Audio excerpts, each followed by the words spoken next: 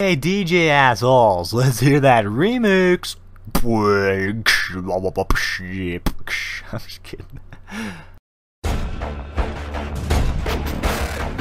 I can't just have some psychopathic murderers get into the vault before I do. I mean, don't get me wrong, it's cute that you all think you're the heroes of this little adventure, but you're not. Welcome to Pandora, kiddos. Holy nutballs! what happened to your freaking face? Oh yeah, how about this? Lady, I don't even know what to call you. You tell me why you look like you headbutted a belt sander, and I'll let all you go, right now. I'm racking my brain trying to think of a name for that diamond pony I bought. I was gonna call it Pits for Brains in honor of you, but that just feels immature.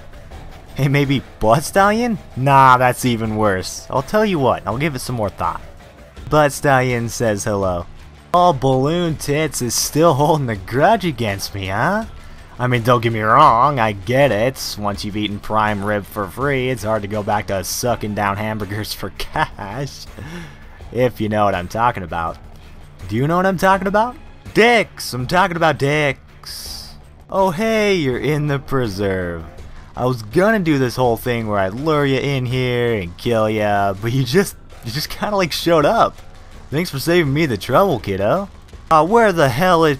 Ah, I had a violin somewhere. I was gonna play it all sarcastically. God damn it, it was gonna be awesome. Blake, where's the bloody violin? Alright, you know what, screw you. Would have been hilarious if I found it earlier. Shut up! Hey kids, did you know your chances of being disemboweled increase by 80,000% upon leaving opportunity? It's a scientific fact. Hyperion makes the best.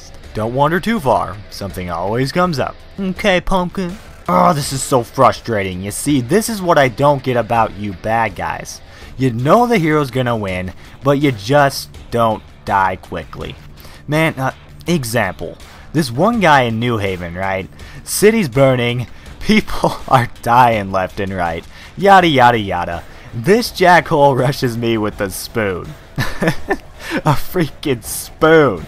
And I am dying laughing, right? So I scoop out his stupid little eyeballs with it, and his kids are all wah. he couldn't see where he's going. He's bumping into stuff. I don't know. Maybe he had to be there. The moral is, you're a total bitch.